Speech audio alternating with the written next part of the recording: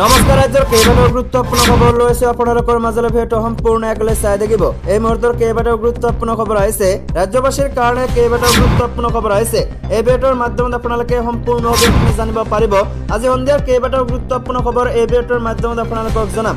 বন্ধুসকল ৰাজ্য চৰকাৰৰ তৰফৰ পৰা কেইবাটাও গুৰুত্বপূৰ্ণ খবৰ আহিছে। লগতে কেন্দ্ৰীয় চৰকাৰৰ তৰফৰ পৰা কেইবাটাও গুৰুত্বপূৰ্ণ খবৰ আহিছে।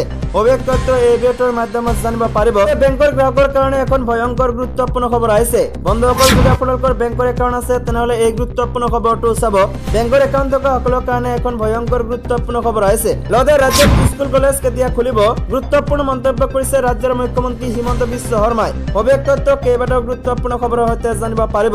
লগতে যিসকল মানুহে অৰুণোদয় আঁচনিৰ টকা এতিয়ালৈকে লাভ কৰা নাই তেওঁলোকে চিন্তা নকৰিব। বন্ধুসকল এই দুই দিনৰ ভিতৰতে আপোনালোকৰ বেংক একাউণ্টত অৰুণোদয় আঁচনিৰ টকা সোমাই যাব।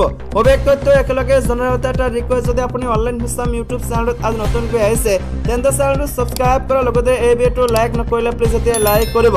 তো বলক আজিৰ ভিডিঅ'টো আৰম্ভ কৰোঁ। ৰাজ্যৰ প্ৰথম গুৰুত্বপূৰ্ণ খবৰটো হৈছে বিহু এৰিব জুবিন গাৰ্গে নিজে কৰিলে সদৰি। বিহু এৰিব জুবিন গাৰ্গে নিজে কৰিলে সদৰি। অহা বছৰৰ পৰা ৰঙালী বিহুৰ কোনো অনুষ্ঠান নকৰে অসমৰ যুৱ প্ৰজন্মৰ হাৰ্টৰক জুবিন গাৰ্গে। সাংবাদিকেৰে হোৱা এক বিশেষ সাক্ষাতত এই বিষয়ে সদৰি কৰে জুবিন নিজে জুবিনে কয় যে অহা বছৰৰ পৰা আৰু বিহুৰ অনুষ্ঠান নকৰো। অহা বছৰ মোৰ পঞ্চাছ বছৰ হ'ব গতিকে মই বিহু এৰি দিম আৰু একো নকওঁ ন কমেণ্ট লগতে ইয়াকো কয় যে বিহুৰ চিষ্টেম যদি সকলোৱে মিলি সলাব বিচাৰিছে সলাই দিয়ক। সদায় অসুবিধা হ'ব শিল্পীসকলৰ। মই বিহুত ইমান ইণ্টাৰেষ্টেড ৰাজ্যৰ দ্বিতীয় গুৰুত্বপূৰ্ণ খবৰটো হৈছে এটা ভয়ংকৰ খবৰ। হেলমেট পৰিধান নকৰাক লৈ আৰক্ষীক প্ৰশ্ন কৰাৰ বাবে এগৰাকী লোকক প্ৰহাৰ। লগে লগে আৰক্ষীৰ বিৰুদ্ধে কঠোৰ চৰকাৰ। হেলমেট পৰিধান নকৰাক লৈ আৰক্ষীক প্ৰশ্ন কৰাৰ বাবে এগৰাকী লোকক প্ৰহাৰ। লগে লগে আৰক্ষীৰ বিৰুদ্ধে কঠোৰ চৰকাৰ। আৰক্ষী বিষয়াগৰাকীক ৰিজাৰ্ভ ক্লজৰ অৰ্ডাৰ। ৰাজপথতে আৰক্ষীয়ে লঠিয়াইছিল লোকগৰাকীৰ গুপ্তাংগত প্ৰহাৰ কৰিছিল লোকগৰাকীক। চিৰাঙৰ বাসুগাঁৱত জয়ন্ত দেৱনাথ নামৰ এগৰাকী লোকৰ ওপৰত প্ৰহাৰ আৰক্ষীৰ বেয়াকৈ প্ৰহাৰ কৰে লোকগৰাকীক এই আক্ৰমণৰ পাছতে থানাত গোচৰ তৰিছিল আৰক্ষী বিষয়াৰ ওপৰত। লোকগৰাকীৰ ওপৰত আছিল যে হেলমেট পৰিধান নকৰাকৈ আৰক্ষী বিষয়াগৰাকীয়ে বাইক চলাই অহাত লোকগৰাকীয়ে প্ৰশ্ন কৰিছিল। এই প্ৰশ্নতেই ক্ষুব্ধ হৈ পৰে আৰক্ষী বিষয়াগৰাকী আৰু লোকগৰাকীৰ ওপৰত প্ৰহাৰ কৰে। বহু লোকৰ সমাগম আছিল সেই সময়ত ৰাজপথত। কোনো লোককে ভ্ৰক্ষেপ নকৰাকৈ লোকগৰাকীৰ ওপৰত প্ৰহাৰ কৰে আৰক্ষী বিষয়াগৰাকীয়ে। ঘটনাৰ পাছতে উত্তেজিত হৈ পৰে জনতা। আনকি লোকসকলৰ অভিযোগ সেই সময়ত থোৰাপান কৰি আহিছিল আৰক্ষী বিষয়াগৰাকী। অন্য আৰক্ষী উপস্থিত পৰিস্থিতি নিয়ন্ত্ৰণলৈ নিয়ে। খবৰ প্ৰচাৰ হোৱাৰ পাছতে দুয়োগৰাকী আৰক্ষী বিষয়াক ৰিজাৰ্ভ। বন্ধুসকল ৰাজ্যৰ তিনি নম্বৰ গুৰুত্বপূৰ্ণ খবৰটো হৈছে যদি আপুনি এই পাঁচটা লেনদেন নগদ ধনেৰে কৰি আছে তেন্তে আয়কৰ জাননী ঘৰলৈ অটো খাটাং।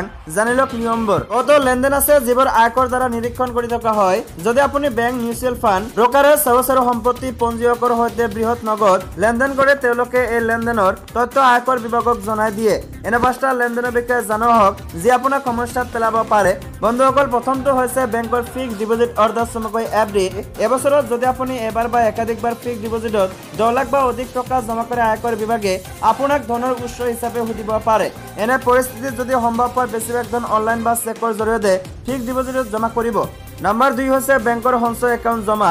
যদি এজন ব্যক্তিয়ে এটা বিত্তীয় বৰ্ষত তেওঁৰ এটা বা এটাতকৈ অধিক একাউণ্টত দহ লাখ বা অধিক টকাৰ নগদ ধন জমা কৰে। আয়কৰ বিভাগে ধনৰ উৎসৰ ওপৰত প্ৰশ্ন কৰিব পাৰে। কাৰণ একাউণ্টত সৰ্বাধিক সীমা হৈছে পঞ্চাছ লাখ টকা। লগতে তিনি নম্বৰ হৈছে ক্ৰেডিট কাৰ্ড বিল পৰিশোধ। বহু সময়ত মানুহে ক্ৰেডিট কাৰ্ডৰ বিল নগদ ধনত জমা কৰে। যদি আপুনি এবাৰত ক্ৰেডিট কাৰ্ড বিল হিচাপে নগদ এক লাখ টকাৰ অধিক জমা কৰে আয়কৰ বিভাগে আপোনাক প্ৰশ্ন কৰিব পাৰে। একে সময়তে যদি আপুনি এটা বিত্তীয় বৰ্ষত নগদ দহ লাখ টকাৰ অধিক ক্ৰেডিট কাৰ্ড বিল পৰিশোধ কৰে আপোনাক ধনৰ উৎস হিচাপে সদা হ'ব পাৰে। লগতে চাৰি নম্বৰটো হৈছে সম্পত্তি লেনদেন। যদি আপুনি সম্পত্তি পঞ্জীয়কৰ ওচৰত নগদ ধনত এটা ডাঙৰ লেনদেন কৰে তেনেহ'লে তেওঁৰ প্ৰতিবেদন আয়কৰ বিভাগলৈ যায়। যদি আপুনি নগদ ত্ৰিছ লাখ বা তাতকৈ টকাৰ সম্পত্তি ক্ৰয় বা বিক্ৰী কৰে সম্পত্তি পঞ্জীয়কৰহে আয়কৰ বিভাগক জনোৱা হ'ব। লগতে পাঁচ নম্বৰটো হৈছে শ্বেয়াৰ মিউচুৱেল ফাণ্ড ঋণপত্ৰ আৰু বণ্ড ক্ৰয়। যদি আপুনি শ্বেয়াৰ মিউচুৱেল ফাণ্ড ঋণপত্ৰ আৰু বণ্ডত বৃহৎ পৰিমাণৰ নগদ লেনদেন কৰে আপোনাৰ সমস্যা হ'ব পাৰে। একে বিত্তীয় বৰ্ষত এনে সঁজুলিবোৰত সৰ্বাধিক দহ লাখ টকালৈকে নগদ লেনদেন কৰিব পাৰে। গতিকে যদি আপোনাৰ এইবোৰত যিকোনো এটাত ধন ৰাখিবলৈ কোনো পৰিকল্পনা আছে প্ৰথম কথাটো মনত ৰাখিব লাগিব যে আপুনি বৃহৎ পৰিমাণৰ নগদ ধন কৰিব চাৰি নম্বৰ গুৰুত্বপূৰ্ণ খবৰটো হৈছে এটা ডাঙৰ গুৰুত্বপূৰ্ণ ভাল খবৰ। পোন্ধৰ ফেব্ৰুৱাৰীৰ পৰা খুলিব L P M E high school college সকলো। সংবাদমেলত জনালে মুখ্যমন্ত্ৰী ডক্টৰ হিমন্ত বিশ্ব শৰ্মাই।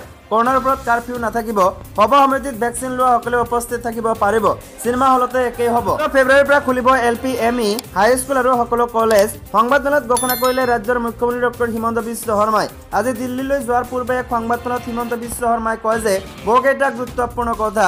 মুখ্যমন্ত্ৰীগৰাকীয়ে পোন্ধৰ ফেব্ৰুৱাৰীৰ পৰা কৰোণাৰ ওপৰত থকা সকলো বাধা নিষেধ প্ৰত্যাহাৰৰ সিদ্ধান্তৰ কথাও সদৰি কৰে। কেৱল সকলোৱে পৰিধান কৰিব লাগিব মাস্ক। সংবাদমেলত মুখ্যমন্ত্ৰীগৰাকীয়ে কয় যে মেট্ৰিক আৰু হায়াৰ ছেকেণ্ডেৰী পৰীক্ষাৰ পৰীক্ষাৰ দিয়ে কৰোণাৰ দুই পালি ভেকচিন ল'ব লাগিব। আগতীয়াকৈ কৈছো এতিয়াৰ পৰা ভেকচিন লওক। আনহাতে কৰোণাৰ ওপৰত কাৰফিউ নাথাকিব। সভা সমিতিত ভেকচিন লোৱা সকলেহে উপস্থিত থাকিব পাৰিব। চিনেমা হলত ৰাজ্যৰ পাঁচ নম্বৰ গুৰুত্বপূৰ্ণ খবৰটো হৈছে জেড প্লাছ ছিকিউৰিটি গ্ৰহণ কৰিবলৈ হৈছে প্ৰস্তাৱ গৃহমন্ত্ৰী অমিত শ্বাহৰ। পূৰ্বে উত্তৰ প্ৰদেশ নিৰ্বাচনৰ প্ৰচাৰৰ পৰা উভতি অহাৰ সময়ত এ আই এম আই এমৰ মুৰব্বী তথা লোকসভাৰ সাংসদ আছাৰুদ্দিন ঐচিৰ ওপৰত গুলীবৰ্ষণ সন্দৰ্ভত আজি লোকসভাত বক্তব্য প্ৰদান কৰে গৃহমন্ত্ৰী অমিত শ্বাহে।